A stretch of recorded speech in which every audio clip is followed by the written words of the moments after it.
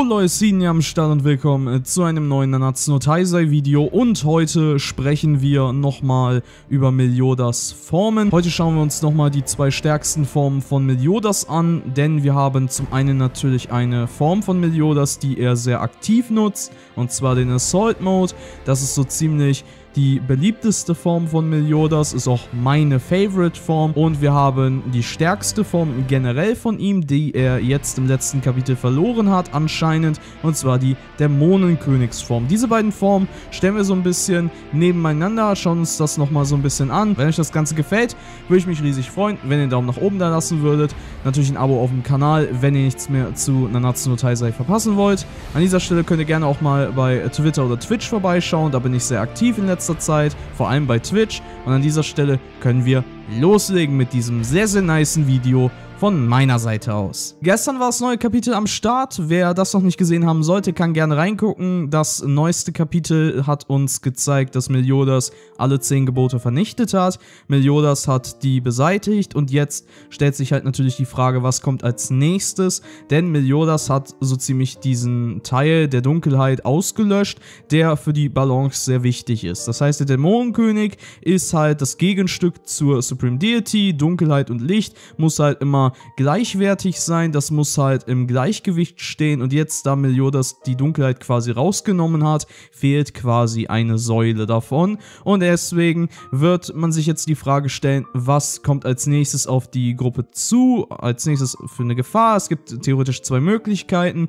auf der einen Seite kann die Supreme Deity jetzt noch reinkommen und die muss noch vernichtet werden, damit generell eine neue Balance für die Welt geschaffen wird, also dass wenn man die Dunkelheit schon wegnimmt, dann auch quasi das Licht wegnimmt oder man stellt einen neuen Dämonenkönig ein, gefühlt, also entweder durch Meliodas oder durch Seldris, der das Gleichgewicht von diesen beiden Säulen dann wieder herstellen kann. Meliodas fällt aber durch das aktuelle Kapitel so ziemlich raus, weil er halt die Dämonenkönigspower nicht mehr haben sollte, da er die ja genutzt hatte, um die 10 Gebote zu vernichten, was eigentlich nicht möglich ist, aber da er diese Kraft hat, kann er es doch in Anspruch nehmen. Er kann die 10 Gebote vernichten in dieser Form und die ist jetzt für ihn auch weg. Seldris hat theoretisch die Möglichkeit, diese Form auch erreichen zu können. Er hat ja das gleiche Spielchen mitgespielt wie Meliodas durch ihren Vater halt dementsprechend. Er wurde ja auch übernommen, er wurde auch kontrolliert vom Dämonenkönig. Von daher könnte ich mir sehr gut vorstellen, dass Seldris auch diesen Teil der Kraft erlangen könnte, absorbieren könnte, er das jetzt nur nicht weiß oder man daraus ein Geheimnis macht und er schlussendlich derjenige ist, der in den Demon Realm wieder übergeht, zusammen mit seiner Freundin Gelda, die ist natürlich auch vom Vampir-Clan, was passender ist, als jetzt zum Beispiel Elizabeth, die zusammen mit Meliodas dahin gehen würde, die halt als Göttin sehr wahrscheinlich ihre Probleme in dieser dämonischen Welt hätte. Und ein Vampir wie Gelda ist halt quasi eine Untergruppierung vom Dämonenclan, ist quasi so eine Art Dämon. Und die hätte da wahrscheinlich keine Probleme, deswegen ist das definitiv passender, wenn die beiden halt dorthin gehen würden und Seldris der neue Dämonenkönig wäre. Muss man aber schauen, ob Seldris wirklich diese Form auch kriegen würde, diese komische Dämonenkönig-Elfenform, die Meliodas auch bekommen hat, oder ob man das komplett weglässt. Einige hatten mir das gestern schon in die Kommentare zu meiner Review reingeschrieben, dass es ja natürlich ziemlich blöd ist oder was es überhaupt sollte, dass man eine Form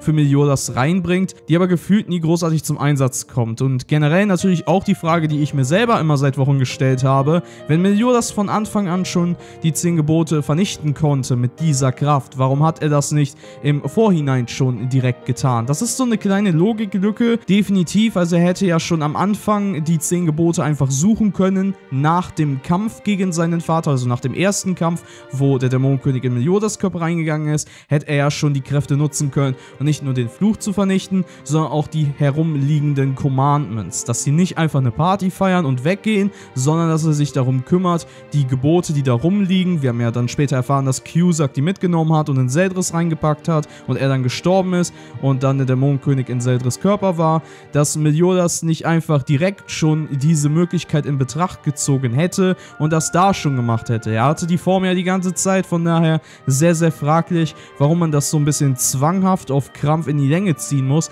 wenn er diese Lösung theoretisch schon früher parat gehabt hätte. Also das war wirklich sehr, sehr seltsam an dieser Stelle. Generell stelle ich mir auch die Frage, warum kann die Form von Meliodas, die Dämonenkönigsform, nicht auch gleichzeitig die Gebote in Seldris Körper vernichten, sodass Seldris wieder normal ist? Also warum muss Seldris denn mental seinen Vater aus dem Körper rauskicken, wenn Meliodas die Fähigkeit hat, die Gebote so oder so zu zerstören? Also wo macht man da die Grenze? Wo zieht man da die Grenze und sagt, oh nein, das geht jetzt aber nicht, dass Meliodas das mit dieser Form kann. Man hat es ja nicht mal versucht, ja. Generell würde ich mich nicht wundern, wenn Meliodas halt einfach diese Form von Anfang an in dem zweiten Kampf gegen König Seldris eingesetzt hätte und gesagt hätte, ja, mit dieser Form kann ich Seldris und den Dämonenkönig von dem Körper voneinander trennen. Ja, mit dieser Form geht das theoretisch. Wieso hat man das nicht mit reingebracht? Theoretisch könnte man das reinbringen. Keiner würde sich darüber wundern, jetzt wo man einen Plot hat, wo Meliodas mit dieser Form eh die Ten Commandments vernichtet. Also,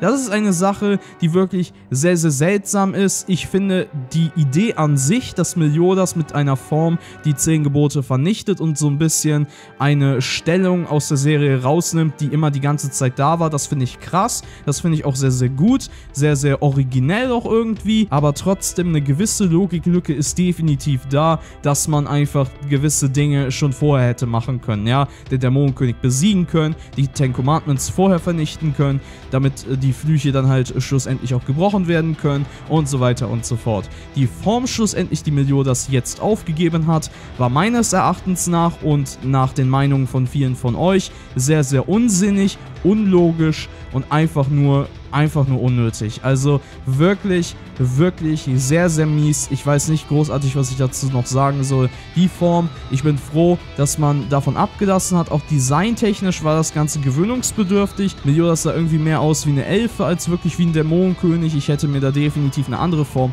mehr gewünscht. Den Assault Mode beispielsweise als Gegenstück finde ich vom Design her, von der Aura her und so weiter viel, viel cooler, viel, viel krasser auch einfach, hat viel, viel mehr Impact als jetzt so eine Elfen- oder Feenform von Meliodas. Das sieht halt schon ein bisschen komisch aus, wird wahrscheinlich der ein oder andere sagen. Und an dieser Stelle bin ich eigentlich sehr, sehr froh, dass Meliodas diese Form anscheinend, wir wissen es nicht, ist nicht bestätigt, aber da gehen wir mal nach der Interpretation nach, wird er diese Form nicht mehr besitzen. Und jetzt kommen wir so ein bisschen auf den Assault Mode rüber. Assault Mode Meliodas ist so die aktivste Form von Meliodas und war immer die stärkste Form von Meliodas, bis er halt diese Dämonenkönigsform bekommen hat, nachdem sein Vater in seinem Körper war. Das war seine stärkste Form. An Sicherheit, jetzt nicht Attacke oder irgendwie sowas. Er hat ja mehrere magische Angriffe, sondern von der Formation, von der Transformation ist das seine stärkste Form immer gewesen bis zu dem Punkt, wo er die Dämonenkönigsform hatte. Das war dann dementsprechend Platz 1, aber jetzt ist Assault Mode wieder seine stärkste Form. Und diese Form finde ich auch bei weitem besser, weil sie einfach aktiver eingesetzt wird. Meliodas kämpft damit aktiv in der Vergangenheit, im Heiligen Krieg. Immer wenn man Meliodas irgendwie mit Impact zeigt, dann zeigt man einen Demon Mark auf seiner Stirn, dann zeigt man, wie krass Meliodas Ausdruck einfach ist, wie heftig er gewesen ist damals in der Vergangenheit, beziehungsweise jetzt auch äh, ganz aktuell wieder oder halt auch, wo er noch ein bisschen böse war, seine Emotionen nicht bei ihm waren, wo ihm eigentlich alles scheißegal war. Das waren so Momente, wo ich Meliodas wirklich richtig gefeiert habe, wo er als Charakter richtig gut aufgebaut wurde, wo er den Assault Mode auch wieder so ein bisschen regenerieren musste und sich wieder so ein bisschen daran gewöhnen musste, diesen zu bekommen. Ist natürlich ein anderer Assault Mode, den er da zum Beispiel im Kampf gegen Escanor hatte, als damals im ersten Kampf gegen Escanor oder in der Primetime, wo er im Heiligen Krieg aktiv war. Der Typ ist definitiv in dieser Form ziemlich heftig. Ich finde es gegen Ende hin ein bisschen unlogisch und auch vom Powerscaling her ein bisschen broken einfach, dass man sagt, dass der Assault Mode ja dann doch irgendwo auf derselben Stufe ist wie der Dämonenkönig. Im gleichen Moment sagt man aber dann halt auch, genau dieser Meliodas in der Primetime wurde vom Dämonenkönig und von der höchsten Gottheit verflucht und hat vollständig gegen die beiden verschissen und jetzt in der gleichen Form geführt, kann er ihn halt besiegen. Mit der Hilfe von den Seven Deadly Sins, mit der Hilfe von Zeldris und so weiter, aber schlussendlich, wir wissen alle, Meliodas hat ihn auch easy alleine weggeklatscht. Von daher definitiv fraglich, definitiv fragwürdig. Wir haben uns diese andere Form, die Dämonenkönigsform, Form eigentlich als Kampfform großartig vorgestellt, aber sie wurde nicht wirklich genutzt. Und jetzt, da Meliodas diese Form nicht mehr besitzt, stellt man sich die Frage, reicht Assault Mode theoretisch für die nächste Bedrohung, die reinkommen könnte? Also selbst wenn die Supreme Deity jetzt reinkommen würde, würde Assault Mode dafür ausreichen. Ist das vielleicht ein Fehler gewesen, dass Meliodas seine Form jetzt quasi weggegeben hat, dass er die theoretisch noch gebraucht hätte, um gegen die höchste Gottheit bestehen zu können, je nachdem, was die macht. Wir haben noch Arthur theoretisch. Viele sagen auch, Arthur könnte böse werden, dass er von der Supreme Deity vielleicht benutzt wird. Ich habe in den Kommentaren ein bisschen gelesen, dass Escanor vielleicht als Marionette eingesetzt werden könnte von der höchsten Gottheit. Das könnte auch sein, ja. Man hat auf jeden Fall Spielraum. Man könnte definitiv einiges noch so in Betracht ziehen, um die Story mit der höchsten Gottheit weiter voranzutreiben. Da gibt es definitiv Möglichkeiten. Aber reicht der Assault Mode an dieser Stelle von Meliodas? Oder kriegen wir vielleicht sogar noch eine neue Form von Meliodas in späteren Kapiteln, je nachdem wie lange der Manga noch gehen wird, kriegen wir vielleicht noch eine neue Form von Meliodas. Das finde ich sehr interessant. Bin ich auf jeden Fall mal gespannt, was man dazu noch machen kann.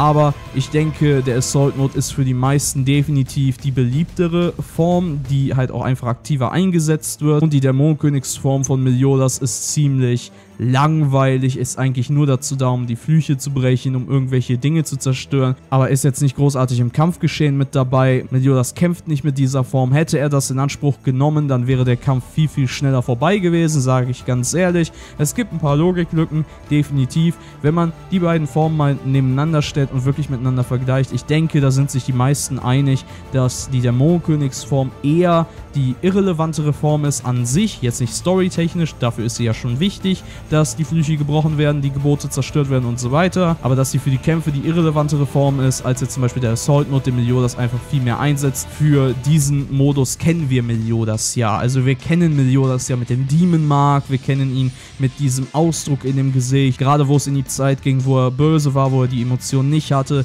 da kennen wir genau diesen Meliodas. Viele haben sich gefragt, viele Anime-Onlys, warum ist Meliodas böse geworden? Und dann hat man immer diesen Ausdruck von Meliodas gesehen, wow, so wird Meliodas mal werden oder das war mal der ursprüngliche Meliodas, richtig krass, anstatt einen Feen-Meliodas oder einen etwas heiligeren Meliodas, der da nicht großartig seine Form richtig einsetzt wo er jetzt natürlich die Form sowieso verlieren wird. Ihr könnt ja mal gerne in die Kommentare schreiben, welche Form ihr besser findet, designtechnisch oder auch generell, aber ich denke, die meisten werden beim Assault Mode bleiben, ist meiner Ansicht nach definitiv in allen Belangen die bessere Form. Storytechnisch wie man die Form geschrieben hat, wie man die Form eingesetzt hat, aber auch designtechnisch definitiv passt das dunklere Design besser zu Meliodas. Aber wie gesagt, könnt ihr ja gerne mal unten reinschreiben, welche Form ihr besser findet.